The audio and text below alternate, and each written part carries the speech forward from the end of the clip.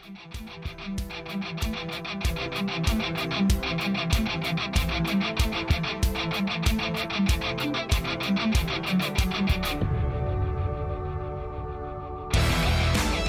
everybody, how's it going? Thanks for watching Manny Scale Modeling Podcast. We got Marcelo from Mars Garage on right there. How's it going, bro? Hey, how's it going, everyone? Uh, so the first thing I wanted to talk to you about, which since we already been talking for a while, but um, let's talk about the uh Rust Bucket group build last year.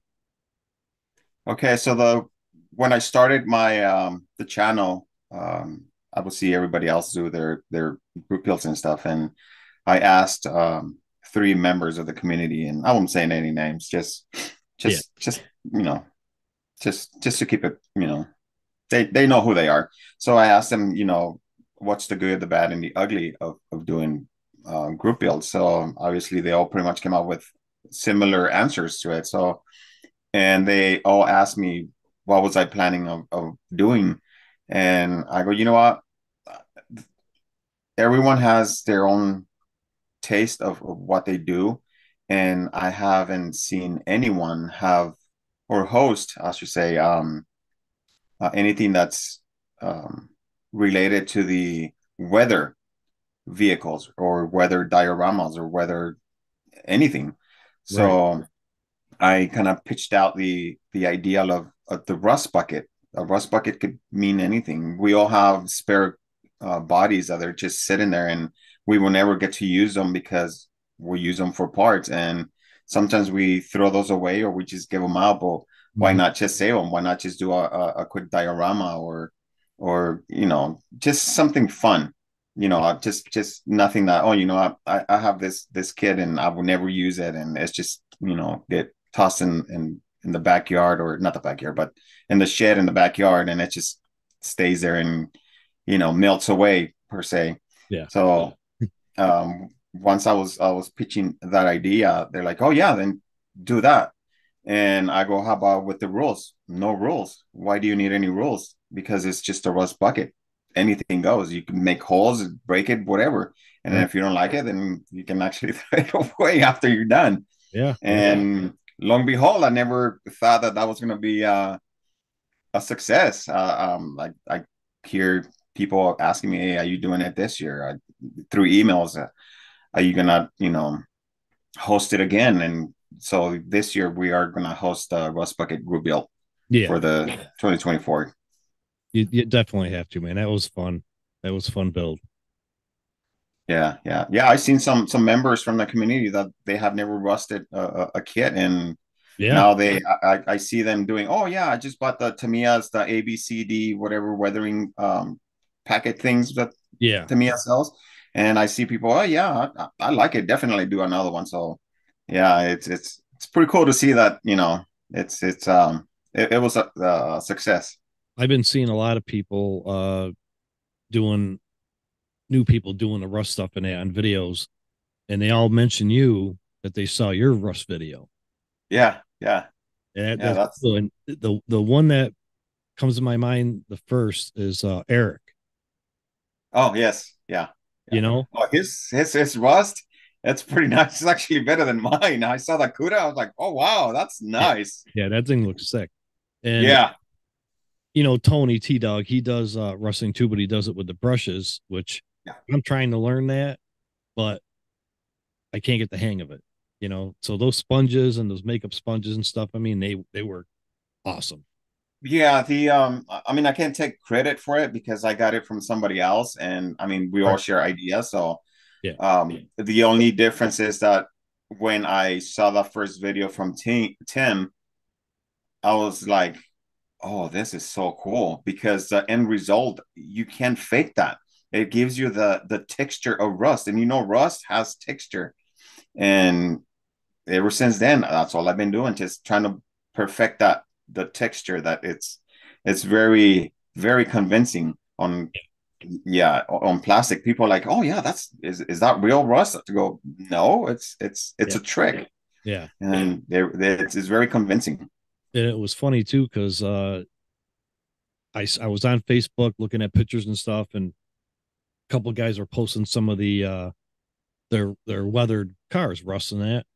I'm like, man, I want to learn how to do that. So I went on YouTube. I don't even think I had my channel yet. Went on YouTube, typed it in, and I came across your yours. So that yeah. was the first one.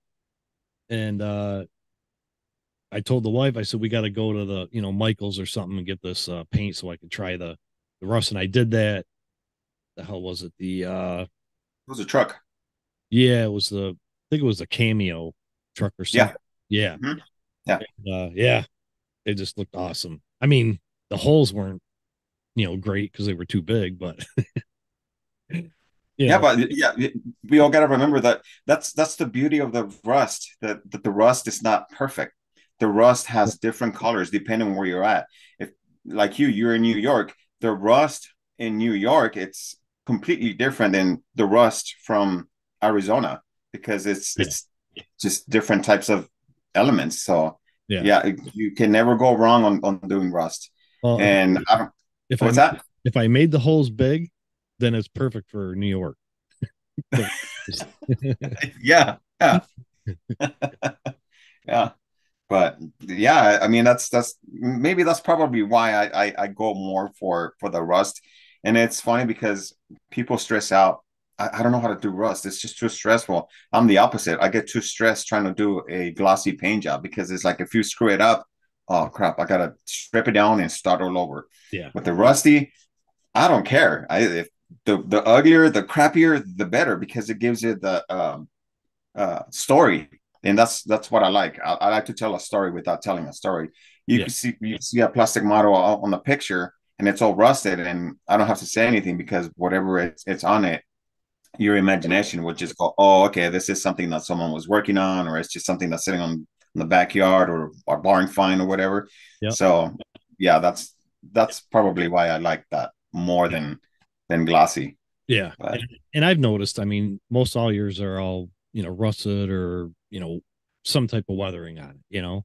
Yeah, daily drivers. Yeah you did you did a couple uh you know glossy paint jobs for a couple builds. Yeah yeah.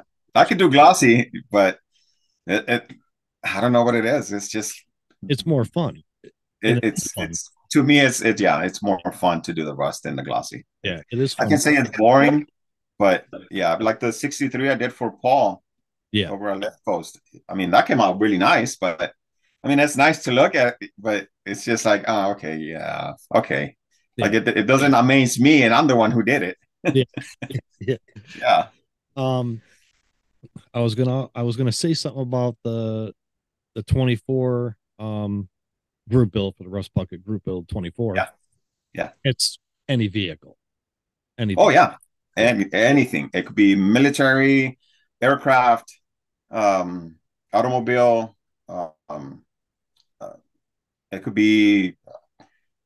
I'm into an, another community where you could just build um, a robot out of plastic bottles. Yeah, yeah, yeah. So it's it's anything. Star Wars. You could rust. You know, whether a a Star Wars action figure or or um, an X wing, it doesn't matter. It's it's just it's having fun. It's having the uh, okay. What type of weather can I do to whatever project I have on me? Yeah. That's pretty much it. Because yeah. you guys seen, I done the Hot Wheels, I did um the Gundams, uh, I did pretty much everything on those three months, just just to show off that it's rust. It's it, doing a, a, the rust effect. It's not it's not hard as people seem to do it or or seem to think. Right. You say. So so on that topic, we'll we'll go into uh so we're going to do another uh, podcast down the line here, and you're going to do, and probably for your just video yourself too, uh, tutorial on doing the rust.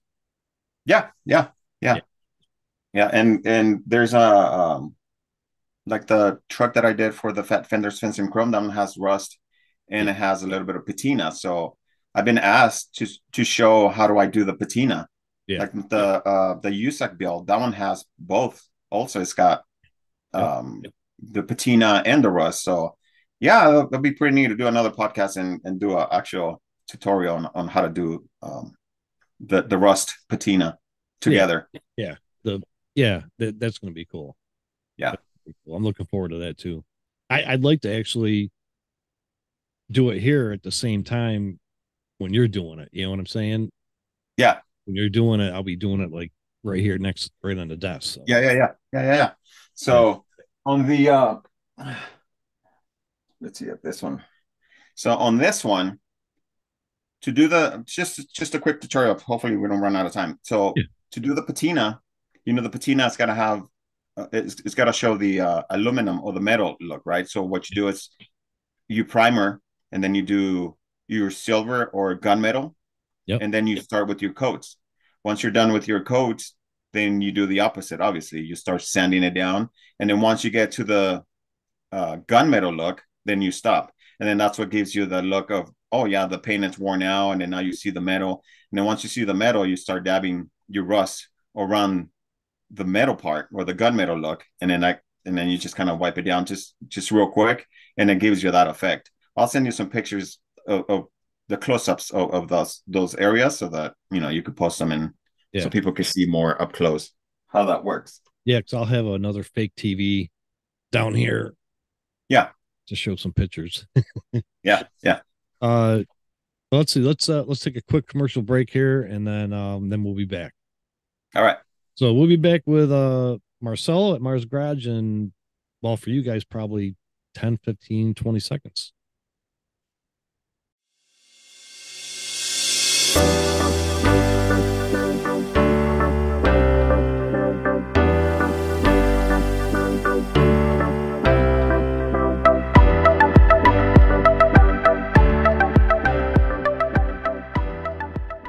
Hey, everybody, we are back. Marcelo from Mars Garage. All right, so uh, we were just talking at break. Um, want to show a couple of your uh, that 140 th- it's a 143rd scale, right? Yeah, it's a 143rd scale. Looks like a matchbox. So, yeah, it looks like a matchbox, but yeah.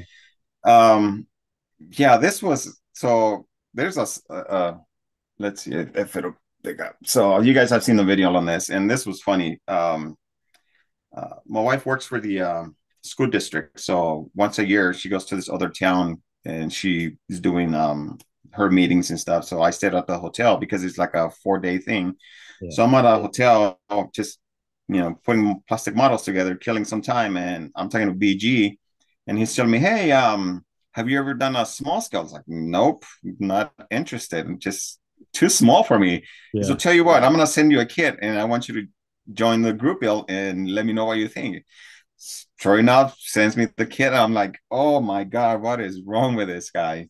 Dude, this I'm, thing is so tiny. I remember watching your video, and uh, you're taking out of the box and stuff, and it was like smaller than your fingers. You know? Yeah, man. This yeah, this thing is super tiny. It's, it's it's a little bit bigger than the Hot Wheel.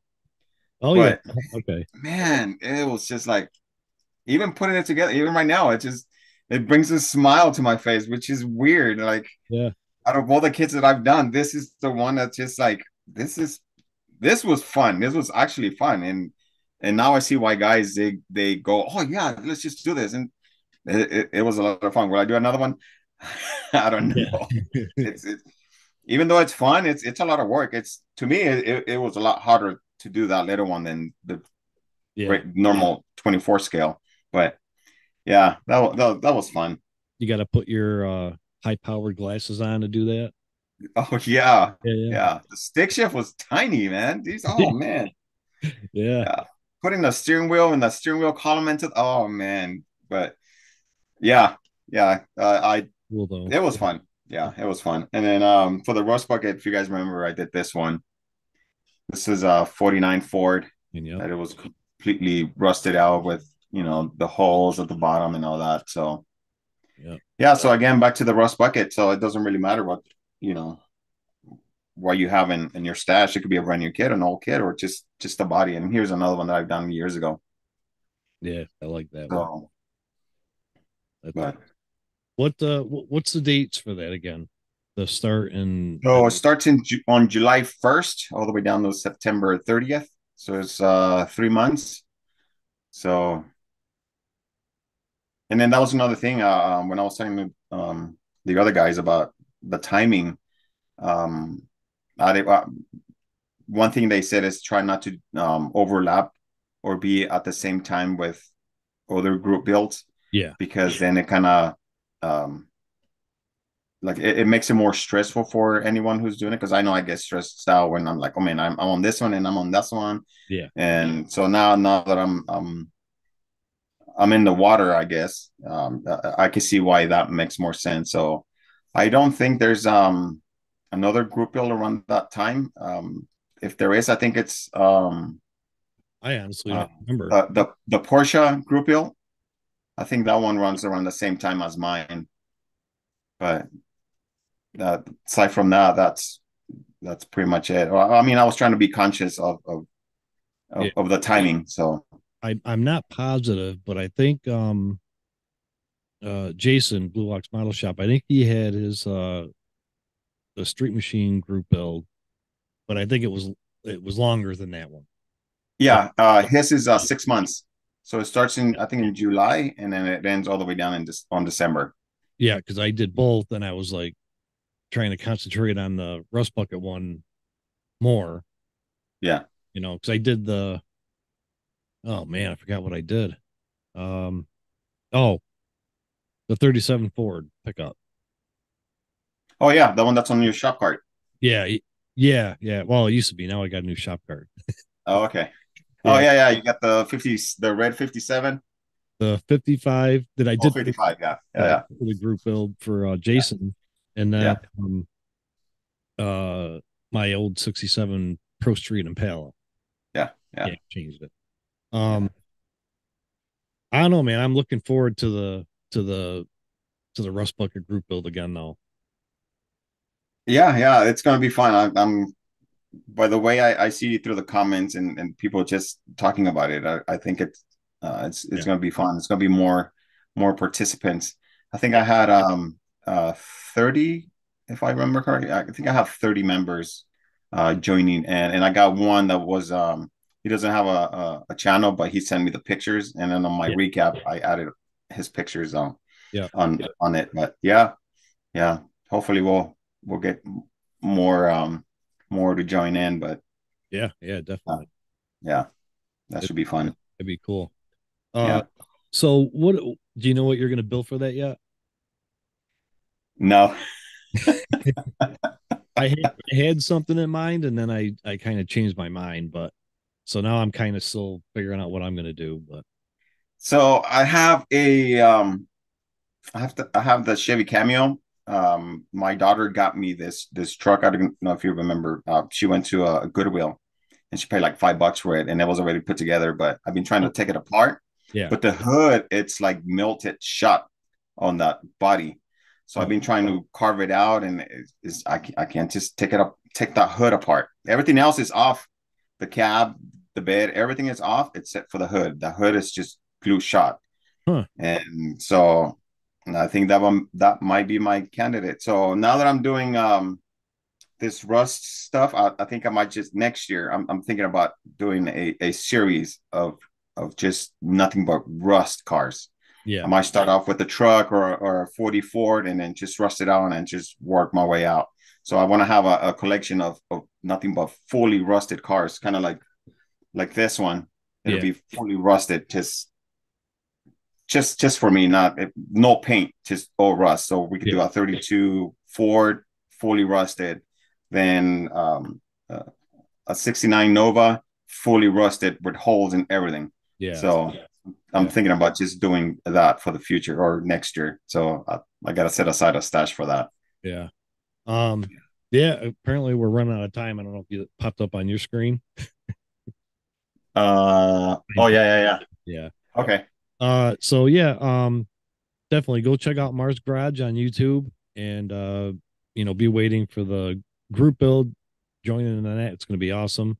And uh, you know, we'll have you on again.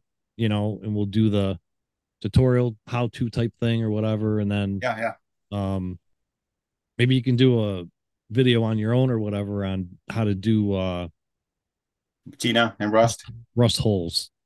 Oh, oh yeah, yeah, yeah. Okay. Yeah. Yeah, yeah I, I yeah. can't I can't get that down yet. I'm still learning that, but so yeah, yeah. Yeah. Yeah, so, for sure.